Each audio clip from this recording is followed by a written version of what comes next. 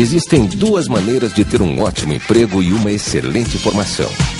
Uma é fazer os cursos do Centro Europeu, como hotelaria, marketing, chefe de cozinha, publicidade, design de moda e os idiomas mais importantes.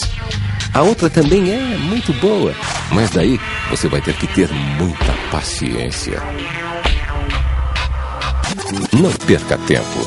Faça Centro Europeu e tenha uma profissão ou idioma em menos de um ano.